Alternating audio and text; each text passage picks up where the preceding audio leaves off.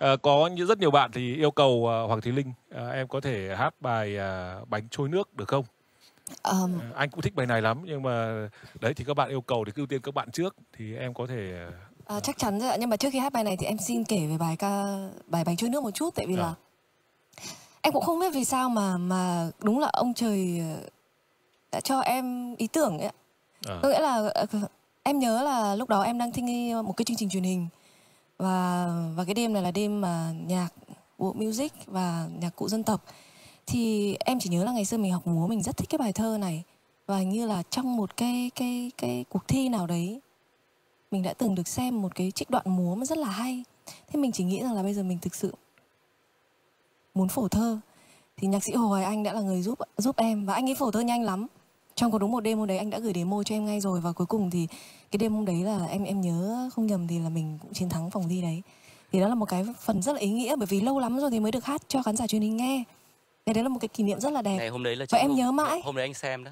Và anh rất là bất ngờ luôn. Vâng, em nhớ mãi ngày hôm đấy em vẫn Tại nhớ vì là... là thực sự là rất ấn tượng với cái bài đấy đấy vì là bài đấy quá nổi tiếng nhưng mà lần đầu tiên được làm thành nhạc. Vâng và bọn em chuẩn bị thì à, một ngày hai ngày viết nhạc rồi. Là qua một đêm đấy mới nghĩ ra ý tưởng là thành ba ngày rồi. À, producer là Triple D thì bạn ý phối khí trong vòng 2 ngày. Và sau đó thì bọn em phải biên múa trong một ngày là đúng một tuần thứ bảy tuần này đến thứ bảy tuần sau là em không nhớ là chủ nhật hay sao là phải lên sóng rồi. Vâng. thì đây là một cái kỷ niệm vô cùng đẹp bởi vì nếu như không có cái kim chỉ nam như vậy thì em đã không có những cái ca khúc tiền đề và cũng không có album hoàng cũng không có tứ phủ cũng không có để mỹ nói cho mà nghe. Ok. Vâng. À, thưa quý vị ờ, sau ờ, phần làm toán chúng ta đến với phần làm văn vâng ạ phần lận bánh ạ. Làm toán xong là làm thơ luôn trong bài này trong chương trình văn học có mà. Đúng rồi.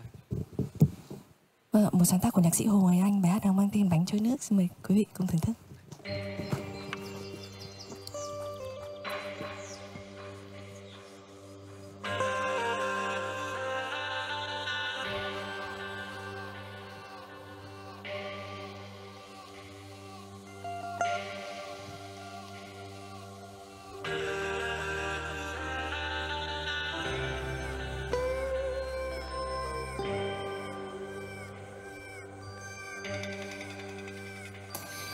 em